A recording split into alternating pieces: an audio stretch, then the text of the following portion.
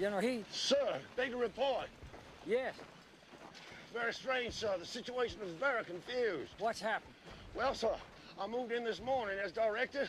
I thought it was only a few militia, but it was dismounted cavalry, sir. Well, there weren't all that many, and the boys wouldn't hold back.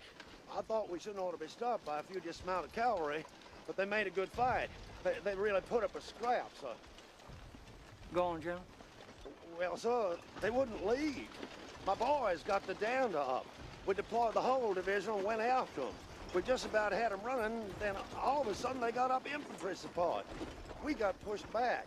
Then, then we, we reformed and tried again. We couldn't just leave it to them, sir. But now there's more Yankee infantry coming up.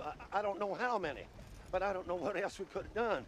It started out as a minor scrap with a few militia. The next thing I know, I'm, I'm tangled with half the Union Army. Things will get out of control, Mr. Heth. That is why we have orders.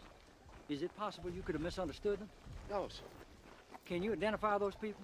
The infantry is the first corps, the Black Hats. There's another corps coming up we still haven't identified. I must have all possible information on the enemy's strength. Major Taylor. Sir. I want you to ride forward yourself to the highest position and observe, and do be careful. Yes, sir. Yeah! Sir, shall I attack? No, sir. We are not yet ready for a full engagement. General Longstreet is not up with his corps. Sir, the enemy is disorganized. If we throw in all our forces now on the field, we will have the advantage. Is that our children? Yes, sir. I cannot imagine what has happened to General Stuart. I have heard nothing. Do you understand me, sir? Yes, sir. I have no idea what lies in front of me. It may be the entire federal army. General Rodes is encountered Yankee cavalry, sir. Buford's brigades. General Early is right behind him and will be on the field within the hour. Sir.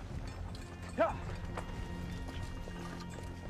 General Early may be attacked by half the federal army within the hour.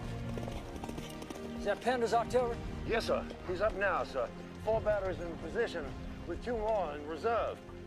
Sir, with General Rodes attacking up there and Pender and I, we have three divisions, sir. We can sweep them.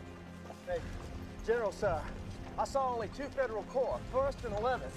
And General, I saw Early's lead columns coming down north of Rodes' lines. He'll be engaged any minute, sir. So we've got 20,000 infantry coming down almost behind the Union lines. It's perfect, sir. God's will. General, it would appear the fight is already underway. General Heth, you may attack, sir. My orders to all commanders, attack.